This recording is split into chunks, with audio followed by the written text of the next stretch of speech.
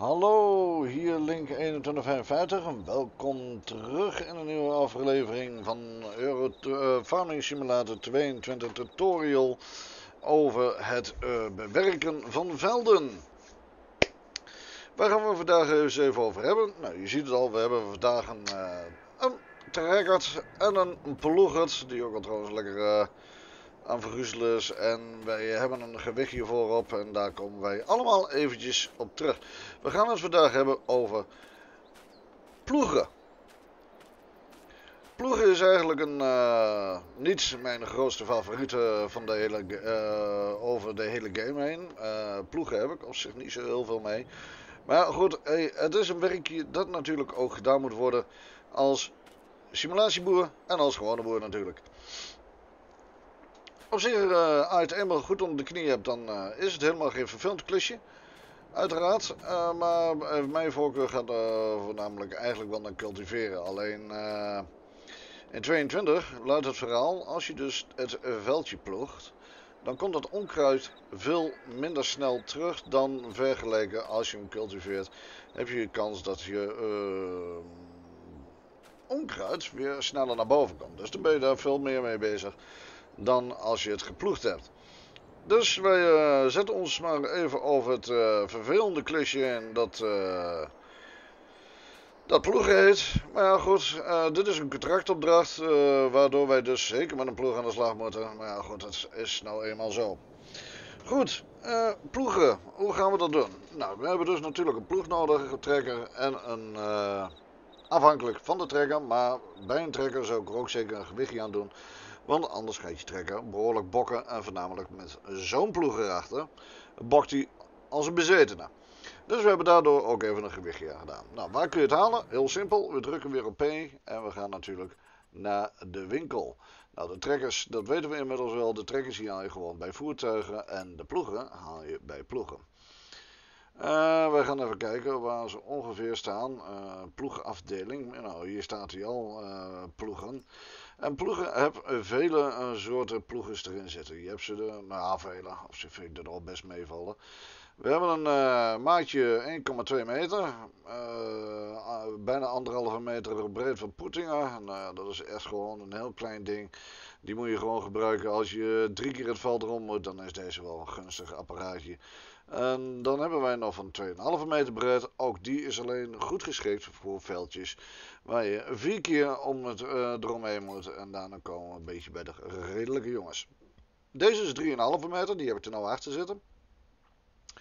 Voor het veldje waarmee ik bezig ben, is het niet echt een, bepaald, een bepaalde optie. Dus zou ik meer zeggen van 4,5 of voor de 6 meter breed.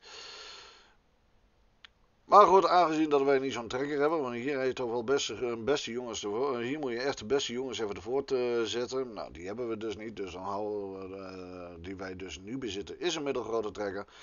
En die kan dus, de Ecomat van Knievalent, kan die best handelen. Dus, uh, mooi nog niet zo ver weer en je hebt er geld er nog niet helemaal voor, om een grote trekker aan te schaffen. Dan zou ik zeggen, Ecomat, Knievalent, middelgrote trekker, huppakee.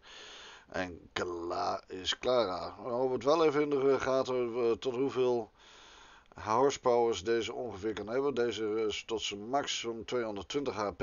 Dan uh, kun je hem redelijk goed naar voren trekken. En dan heeft die auto niet zo heel veel problemen mee. Goed, nou dat hebben we gehad. Gaan we nog even naar de andere afdeling. Want ja, natuurlijk gewichten zijn ook heel belangrijk bij een trekker. Deze is 600, deze is 600 en deze begint met een 6500. En als ik goed heb, heb ik hier eentje van 6,5 voor 650 kilo voor op de trekker hangen. Maar die, uh, van mij had ook een 750 en die had er eigenlijk op moeten bij mij trekken. Maar die zou wel op die andere zitten. Uh, maar dat gaan we zelf uitzoeken.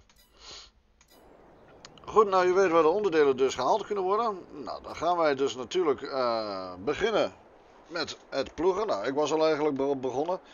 Uh, zoals je ziet, in het midden is er nog niks gedaan.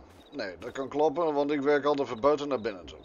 En zoals je dus ziet aan de structuur van mijn ploegsysteem, ga ik eerst altijd om het veld heen. Pak ik eerst de, kop, uh, de en daarna raak ik van binnen naar, uh, voor en naar achteren. Nou, we zullen het er even bij halen. Je ziet op de basisstuk, dat is wat geploegd is. Um, en binnenin, dat is nog steeds wat geoost is. Dus dat is op zich wel makkelijk eruit te halen. Wat ik altijd altijd doe, is gewoon de, rondom het veld heen de kophakkers eerst pakken. Totdat ik op een gegeven moment kan zeggen van ik ga heen en weer, heen en weer, heen en weer. Dat is mijn uh, idee bij het ploegen. Uiteraard heb ik daar natuurlijk wel een punt voor, want ik zou het even laten zien. We gaan even de tracker hebben stel dat ik zeg van, ik ben al bijna, bijna klaar. We starten hem even. We gooien dat ding naar beneden. Stel, wij zijn bijna klaar. We hoeven niet zo heel veel meer. Ik uh, zeg van, uiteraard, nou, we zijn er bijna. Dus we gaan even naar de overkant van het veld toe.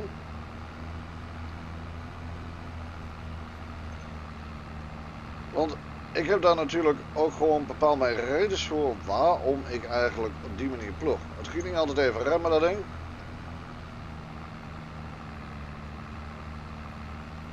Maar doet niet uit. Als je het in één keer goed doet, heb je er weinig werk aan.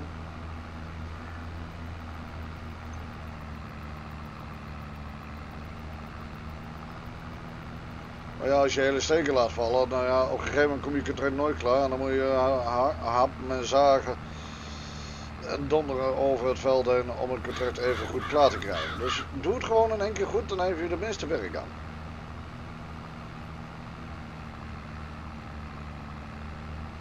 Is gewoon een hele feit. Maar niet uit als je de linkerkant, uh, waar, het uh, wieltje, dat hij ergens nog een keer overheen duikt. Maakt niet uit, dan weet je zeker dat je hem gehad hebt. Nou, natuurlijk zoals je het hele blad goed kan gebruiken natuurlijk. Goed. Wij zijn dus nou een paar keer om het veld geweest. Zoals je hier kunt zien, we hebben hier een rechtse strook en de andere kant giet hij de andere kant weer op. Maar nou is het zo, als jij dus kleine veldjes hebt, hele kleine veldjes, waardoor een huis uh, of bomen uh, je in de weg staan. Ja, als jij dus dat hebt, dan kun je gewoon je blad omhoog gooien. En je kan gewoon, je draaien, je kan gewoon draaien. Want dan pak je op een gegeven moment, zit je mensen achteruit zeg maar, dan pak je bij de kopstuk. Ik zal er even een iets andere voorbeeld geven. Dit gaat natuurlijk weer even een knallig eh, voorbeeldje worden. We waren nou dus hier gekomen. Dus eh, het huisje staat ongeveer een, uh, nou, laten we zeggen tot hier. Maar jij kan hem niet draaien. Dus dan zul je 10 keer moeten steken om iets te kunnen doen. Nou, wat zeg ik gewoon aan mijn beurt? Ik heb het huisje bereikt. Ik ga mijn trekker gewoon even een kwarts laten draaien. En zet mijn ploeg weer naar beneden. En ik kan weer verder met waar ik bezig was.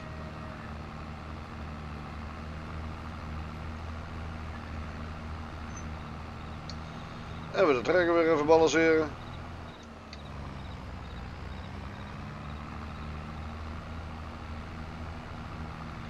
En ik creëer ruimte voor mezelf. Het veld kan het hebben. Is, uh, moet, jezelf ook natuurlijk. Op die manier maak je alleen maar ruimte voor jezelf. Bij de vorige stream kon je dus zien dat Basbak dus banen is aan gaan leggen maar niet om het veld te zijn gegaan. Dus de ruimte was weg. Als je er eerst omheen was gegaan, dan creëer je dus ruimte.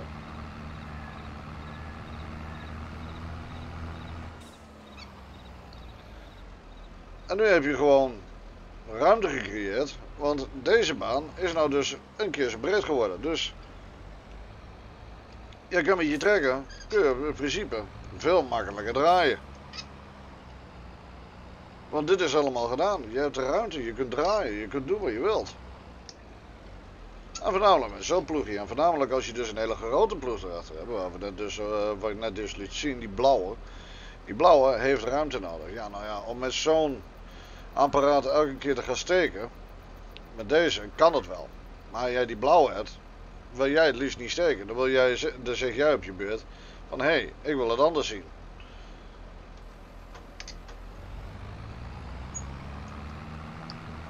Want dan wil je die draai maken. Maar dan trek je hem dan ook in één keer goed achter op de baan dat jij hem dus heen wil hebben. Dus we gaan even dit rondje afmaken.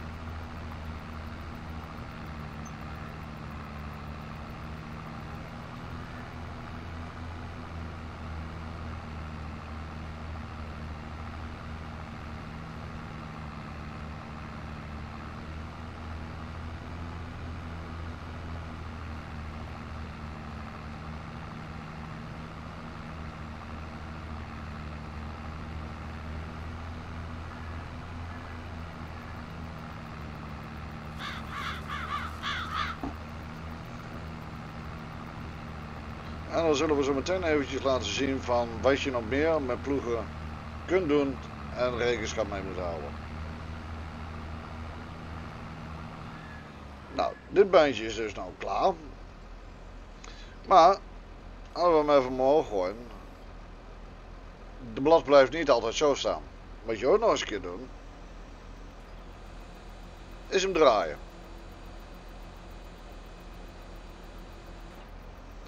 Maar juist als je hem draait, kun je zeggen, ja, je hebt de ruimte nu, ik ga hem de andere kant op trekken. Ik ga weer ik ga heen en weer. Ja, dan zou je hem moeten draaien. Wat ik persoonlijk, voor mezelf eigenlijk, niet al te prettig vind. Waarom niet? Omdat je camerabeeld in één keer anders loopt. En dan heb je gewoon kans dat je dus gewoon het ploegen niet helemaal lekker pakt. Maar je camerabeeld staat anders. Sommigen kunnen het wel, sommigen ook weer niet.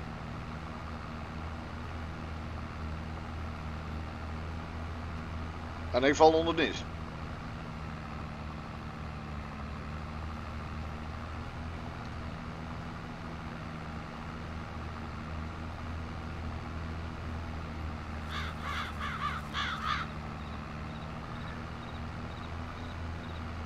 En ik werk als uit in één keer. Als je deze manier zelf prettiger vindt om te werken, dan kun je dat doen. Het zit er niet zo niets op natuurlijk.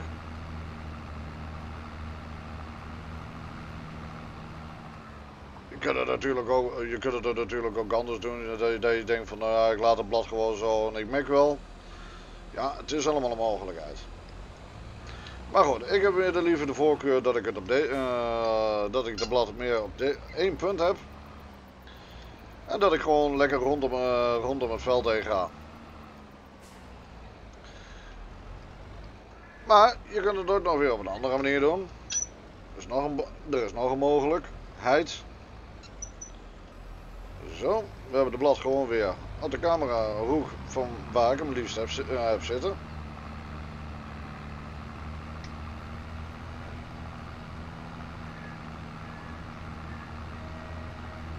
Dus gaan we weer even terug. Maar nu gaan we het even gewoon weer op mijn manier doen. Dus we hebben net rond op het veld gedaan.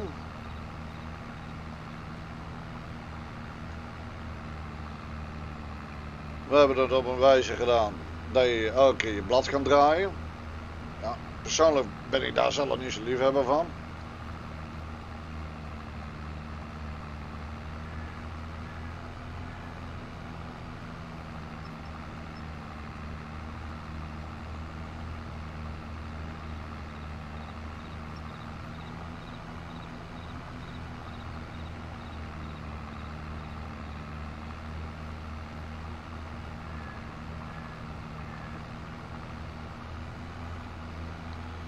Zo. Dus we hebben nou ruimte gecreëerd hè, rondom het veld. En we hebben nou dus even heen en weer laten zien hoe het uh, op één manier kan. Maar er is nog een manier. Uh, mijn manier. In principe ben ik nog niet klaar met de, de. Want liefst blijf ik voorlopig eerst ronddraaien. Maar dit is een tutorial. Laat ik je nog eens eventjes zien. Wij hebben dus nou deze kant op gereden. Ik zou het pas doen als je uh, vrij, dicht in het midden bent, dat het in de breedte eigenlijk niet meer nut heeft om rond te rijden. Dus je moet even denken dat dit dan nou een hele smalle breedte is. Dan ga je naar de andere kant hoor. Oh, je wilt het trekken beginnen, dan is ook goed. Maar je hoeft je blad niet te wisselen. Oh, klein stukje missen. Maar je hoeft je blad niet meer te wisselen. En je camera ook niet, want je camera, als jij je camera op links hebt staan, een beetje. Bij mij zit er eigenlijk precies achter, maar ik vind hem prettiger op, op één punt houden. Mijn, mijn persoonlijke doel natuurlijk. Maar dan kun je op deze manier kun je ook nog werken. Dat je van, nou, ik ga vier keer koppakkers en voor de rest ga ik uh, continu rond. Pak ik hem elke keer op de andere hoek. Zou je ook nog eventueel kunnen doen. Heel eigen keuze natuurlijk. En je mag hem ook van, uh, van punt naar punt werken. Dat moet je ook zelf dat is ook een mogelijkheid, maar nutteloos. Maar wel creatief natuurlijk. Maar dat is eigenlijk alles met ploegen. Heb jij een grote ploeg, uh, die blauwe bij bij wijze van spreken, dan zou je kunnen zeggen van, hé, hey, naar achteren steken is gewoon vrij lastig. Ja, dan ben ik met je eens. Als je die grotere hebt, ja, dan zou ik gewoon zeggen van weet je wat je doet. Ruimte maken. En je kunt met die blauwe, kun je gewoon op één blad, uh, kun je ook op één kant aanhouden. En dan ga je gewoon een rondje maken, donder blad weer naar beneden en je gaat weer verder. Dat is met, uh, dat is met de, hele grote ploegers. En dan giet het ook goed. Kom je ook weinig in de problemen. Dus dat is het hele ploegenverhaaltje. Het is niet moeilijk. Het is een beetje saai. Maar ja, dat is sowieso al grondwerk. Maar er zit gewoon creativiteit in. En als je dat goed onder, onderhoudt, dan uh, gaat het allemaal veel ma uh, vele malen makkelijker.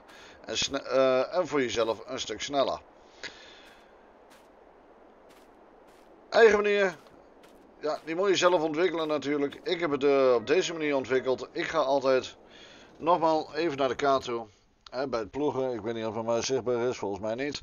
Maar als je op de kaart kijkt, ik begin altijd, ik ga altijd kloksenwijze, ga ik met de klok mee, ga ik eerst altijd rond. Totdat het veldje zo breed is, uh, dat het eigenlijk niet meer nodig is om in de breedte uh, te ploegen. En dan ga ik gewoon.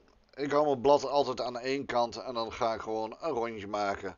En dan begin ik elke keer op een andere hoek. Mijn blad gaat echt niet van links naar rechts, links naar rechts. Nee, dat doe ik niet. Maar dat is mijn manier van werken. Rondom koppakkers eerst pakken, totdat je denkt van, nou, ik ben bijna klaar. En dan uh, pak je gewoon kant voor kant weer terug. En dan is het net zo makkelijk. Het is geheel de kus aan jezelf natuurlijk. Goed, ik hoop dat ik jullie weer een uh, stukje op weg heb kunnen helpen. Met ploegen, zo ja, dan uh, is dat ook leuk voor een, voor een berichtje of een duimpje of wat dan ook, wat jullie zelf willen. Willen jullie meer van de tutorials van Farming 22 zien, dan zou ik zeker zeggen, abonneer op mijn kanaal.